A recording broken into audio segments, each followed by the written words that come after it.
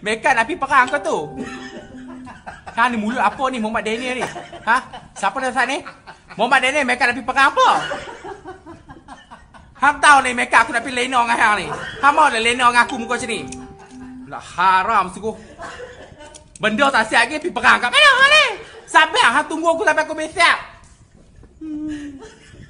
Ya hak ni pun gelok semua orang kata aku gelok kat kita.